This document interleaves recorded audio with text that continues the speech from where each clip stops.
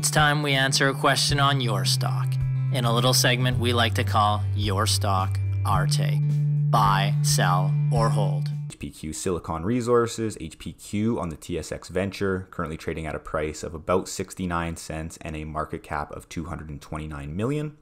So the company specializes in the exploration of quartz located in Quebec, as well as development for its transformation into silicon, uh, which is essentially important for uh, batteries as well as EV vehicles, of course.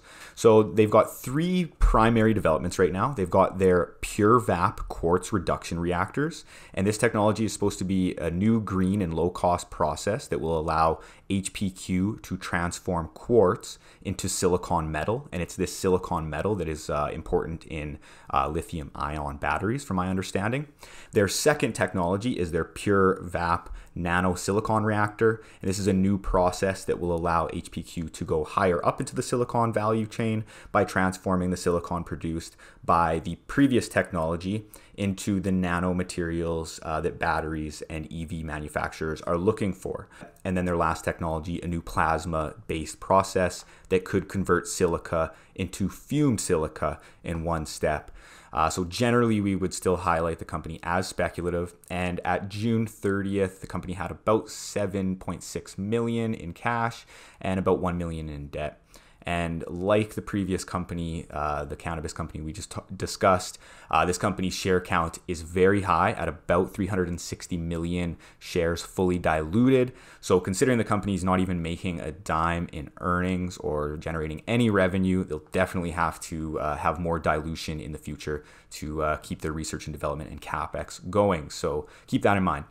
So, you know, really, this is an easy one to uh, analyze. Generally speaking, it's an interesting story. The company is addressing lithium ion battery technology and the EV market, which of course could be a huge opportunity. Now, if the technology development pays off, the com- and the company is able to prove upon its pilot plants coming online and begin generating sales, you know, an, an, an investment in this company could potentially pay off. But, and this is a huge but, as we have mentioned with other companies based on a technology which is still under development, like Cielo Waste Solutions, we are not scientists or experts in the process of turning quartz into silicon metal. So we are completely relying on our trust that management is on the precipice of a great technology. And the question you would need to ask yourself is whether you want to place your hard earned dollars in something that you may not truly understand. Now, I should also add here um, that, you know, you could speculate that maybe Pyrogenesis could buy HPQ, but again, this is a huge speculation, and we wouldn't, you know, tell anyone to invest on a company, you know, based on a buyout.